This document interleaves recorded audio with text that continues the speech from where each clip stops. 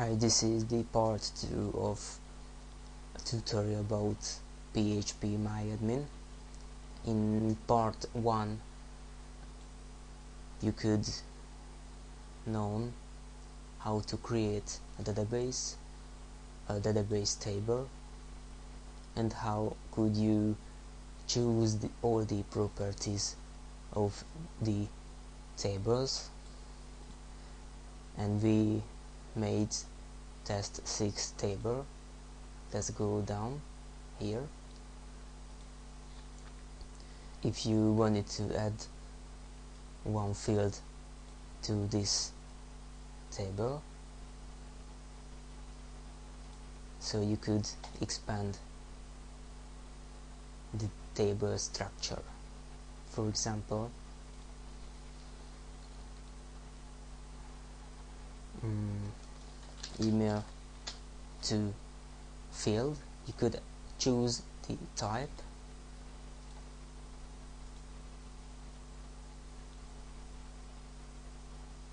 Which is a varchar and has 255 length. Let's save it. As you can see this field added here at the end of the table but you could add field.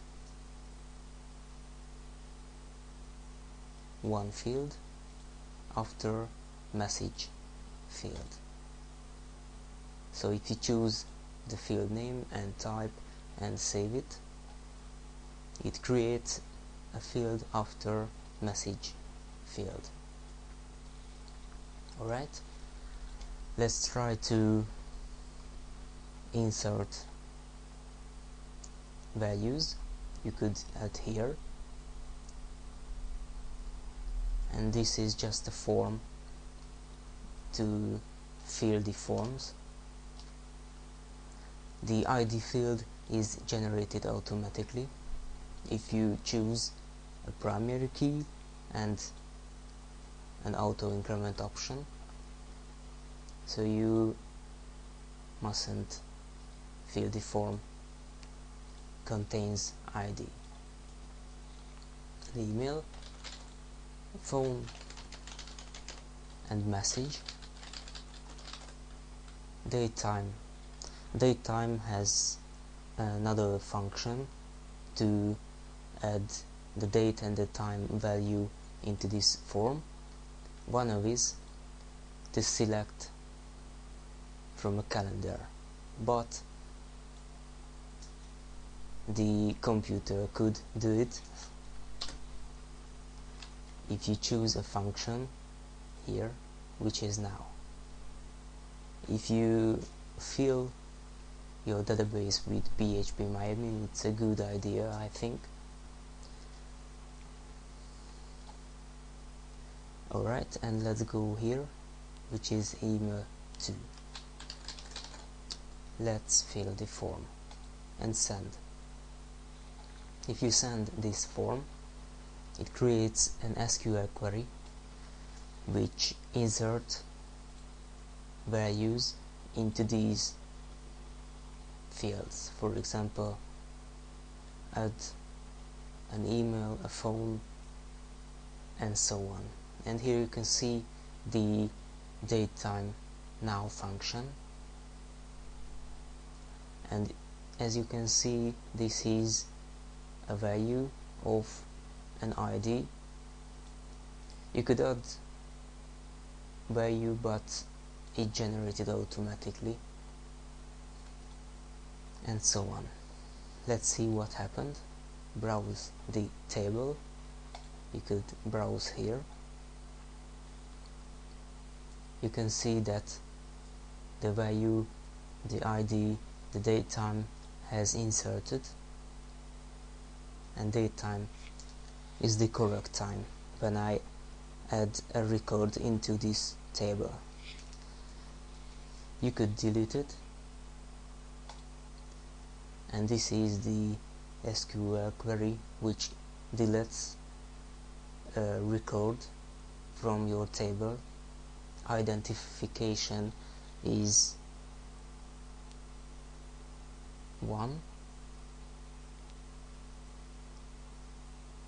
so it deletes a record where the ID field value is 1 so you didn't need to add all these values from the table.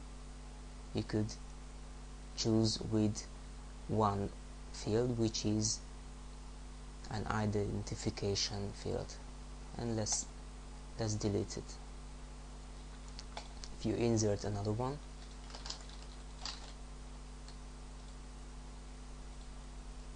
And so on. See what happened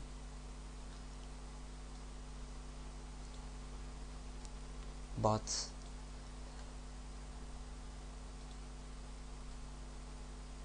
the ID is 2 so the ID's value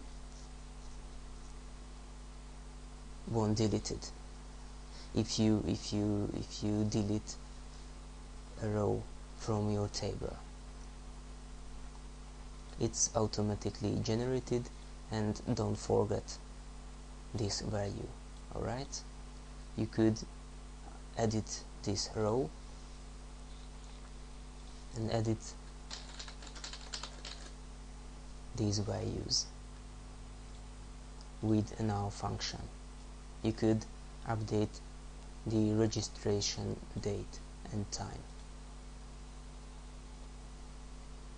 And this is an SQL query how to update a record identified with the ID field with these fields uh, values sorry. And it changed. Now I think uh, you could know the basics. Let's trial PHP myadmin and and let's play with the the options and so on. And let's see and visit phpcode.hu phpcode.hu it's a generator to to create PHP code too easy. Alright? Bye bye